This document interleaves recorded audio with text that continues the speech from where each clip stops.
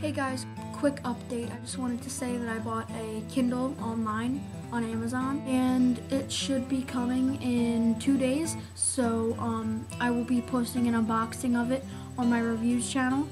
Um, link in the description to where it is. And um, if you guys have any comments, video responses about the Kindle, please comment, post video responses and all that stuff. I want to learn about it. So yeah.